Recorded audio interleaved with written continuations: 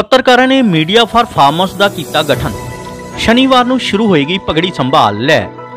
ਅੱਜ ਤੋਂ ਲਗਭਗ ਇੱਕ- 113 ਸਾਲ ਪਹਿਲਾਂ ਕਿਸਾਨ ਕਾਨੂੰਨ ਦੇ ਵਿਰੋਧ 'ਚ ਅੰਗਰੇਜ਼ਾਂ ਦੇ ਖਿਲਾਫ ਸ਼ਹੀਦ ਭਗਤ ਸਿੰਘ ਦੇ ਚਾਚੇ ਅਜੀਤ ਸਿੰਘ ਨੇ ਪਗੜੀ ਸੰਭਾਲ ਜੱਟਾ ਅੰਦੋਲਨ ਸ਼ੁਰੂ ਹੋਇਆ ਸੀ ਪਰ ਬਹੁਤ ਘੱਟ ਲੋਕ ਜਾਣਦੇ ਨੇ ਕਿ ਪਗੜੀ ਸੰਭਾਲ ਜੱਟਾ ਅੰਦੋਲਨ ਇੱਕ ਗਾਣੇ ਦੀ ਸ਼ੁਰੂਆਤ ਤੋਂ ਹੋਇਆ ਸੀ ਤੇ ਇਸ ਨੂੰ ਇੱਕ ਪੱਤਰਕਾਰ ਬਾਂਕੇ ਦਿਆਲ ਨੇ ਲਿਖਿਆ ਸੀ ਅੱਜ ਫਿਰ ਦਿੱਲੀ ਦੇ ਬਾਰਡਰ ਤੇ ਕਿਸਾਨ ਕਾਨੂੰਨਾਂ ਖਿਲਾਫ ਕੇਂਦਰ ਸਰਕਾਰ ਦੇ ਵਿਰੋਧ ਕਰਦੇ ਹੋਏ ਪਗੜੀ ਸੰਭਾਲ ਜੱਟਾ ਦਿਵਸ ਮਨਾਇਆ ਗਿਆ। ਇਸੇ ਦੇ ਮੱਦੇਨਜ਼ਰ ਇੱਕ ਵਾਰ ਫਿਰ ਤੋਂ ਪੰਜਾਬ ਦੇ ਮੀਡੀਆ ਹੱਬ ਕਹੇ ਜਾਣ ਵਾਲੇ ਸ਼ਹਿਰ ਜਲੰਧਰ ਦੇ ਵਿੱਚ ਪੱਤਰਕਾਰਾਂ ਨੇ ਮੀਡੀਆ ਫਾਰ ਫਾਰਮਰਸ ਦਾ ਸੰਸਥਾ ਦੇ ਬੈਨਰ ਹੇਠ ਪਗੜੀ ਸੰਭਾਲ ਲਹਿਰ ਸ਼ੁਰੂਆਤ ਕਰਨ ਦਾ ਫੈਸਲਾ ਲੈਂਦੇ ਹੋਏ 27 ਫਰਵਰੀ ਸ਼ਨੀਵਾਰ ਨੂੰ ਹੋਟਲ ਸਕਾਈਲਾਰਕ ਚੌਂਕ ਦੇ ਨੇੜੇ ਹਰੀਆਂ ਪਗੜੀਆਂ ਸਜਾ ਕੇ ਇਸ ਦਾ ਆਗਾਜ਼ ਕੀਤਾ ਜਾਏਗਾ। ਬਿਰੋ ਫਿਰ ਅਚਾਨਕ ਨਿਊਜ਼, ਜਲੰਧਰ। ਦੇਖੋ, ਪਗੜੀ ਸੰਭਾਲ ਜੱਟਾ ਜਿਹੜੀ ਲਹਿਰ ਹੈਗੀ ਆ, ਉਹ ਮੀਡੀਆ ਦੇ ਸੰਪਾਦਕ ਜਿਹੜੀ ਸੀ ਸੰਪਾਦਕ ਸੀਗੇ 1900 ਅਹ, ਜਿਹੜਾ ਜਦੋਂ ਆਜ਼ਾਦੀ ਦਾ ਚੱਲ ਰਿਹਾ ਸੀ ਸੰਘਰਸ਼ ਉਸ ਦੌਰਾਨ,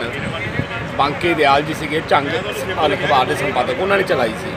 ਔਰ ਉਹ ਲਹਿਰ ਨੂੰ ਚਲਾਉਣ ਦਾ ਦੁਬੇਰਾ ਜਿਹੜਾ ਵਕਤ ਆ ਗਿਆ। ਔਰ ਮੀਡੀਆ, ਅੱਜ ਦੇ ਜਿਹੜੇ ਸਾਰਾ ਇੰਟੈਲੈਕਚੁਅਲ ਮੀਡੀਆ ਉਹ ਇਕੱਠਾ ਹੋਇਆ।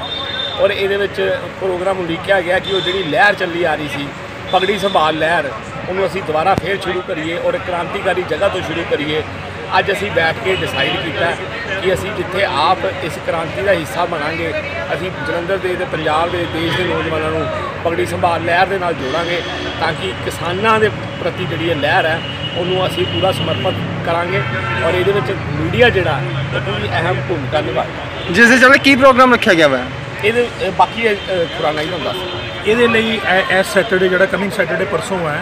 ਇਹ ਸਾਰੇ ਮੀਡੀਆ ਮੈਨ ਜਿਹੜੇ ਨੇ, ਉਹ ਜਿਹੜੇ ਇਸ ਮੁਹਿੰਮ ਦਾ ਹਿੱਸਾ ਬਣਨ ਜਾ ਰਹੇ ਨੇ, ਉਹ ਸ਼ਨੀਵਾਰ 1:30 ਵਜੇ ਦੇ ਕਰੀਬ ਸਰਕਟ ਹਾਊਸ ਦੇ ਵਿੱਚ ਇਕੱਠੇ ਹੋਣਗੇ ਸਾਰੇ ਸਰਕਟ ਹਾਊਸ ਦੇ ਬਾਅਦ ਜਿਹੜੀ ਪਾਰਕਿੰਗ ਹੈ। ਉਸ ਤੋਂ ਬਾਅਦ ਅਸੀਂ ਸਕਾਈਡਾਰਕ ਚੌਕ ਔਰ ਸਰਕਟ ਹਾਊਸ ਵਾਲਾ ਏਰੀਆ ਹੈ। ਇੱਥੇ ਰੁਕ ਕੇ ਔਰ ਸਾਰਿਆਂ ਦੇ ਹਰੇ ਰੰਗ ਦੀਆਂ ਦਸਤਾਰਾਂ ਸਜਾਣਗੇ ਸਾਰੇ ਪੱਤਰਕਾਰ। ਫਿਰ ਜੋ